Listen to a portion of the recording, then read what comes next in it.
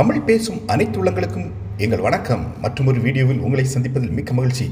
இன்று பதினாறாவது ஐபிஎல் திருவிழா தொடங்குகிறது. மே இருபத்தி எட்டாம் தேதி வரை நடைபெறும் இந்த தொடரில் பத்து அணிகள் பங்கேற்கின்றன. இந்த பத்து அணிகளும் இரு பிரிவாக பிரிக்கப்பட்டு இன்று முதல் லீக் ஆட்டங்கள் நடைபெற உள்ளது. இன்று இரவு ஏழு முப்பது மணிக்கு அகமதாபாத் மைதானத்தில் நடைபெறும் தொடக்க ஆட்டத்தில் நடப்பு சாம்பியனான குஜராத் டைட்டன்ஸ் அணியும் சென்னை சூப்பர் கிங்ஸ் அணியும் மோதுகின்றன.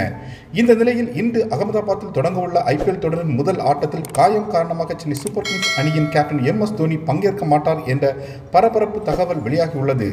மேலும் வெளியான தகவலின்படி எம் எஸ் தோனி இந்திய ஆட்டத்தில் பங்கேற்காத பட்சத்தில் ருதுராஜ் அல்லது ஜடேஜா கேப்டனாக செயல்படலாம் என்ற தகவலும் வெளியாகியுள்ளது. இதற்கிடையே சென்னை சூப்பர் கிங்ஸ் அணியிலிருந்து வேகப்பந்து வீச்சாளர் முகேஷ் சௌத்ரி விலகியுள்ளார். முகேஷ் சௌத்ரிக்கு காயம் ஏற்பட்டுள்ளதால் அணியிலிருந்து அவர் விலகியுள்ளதாக சொல்லப்படுகிறது.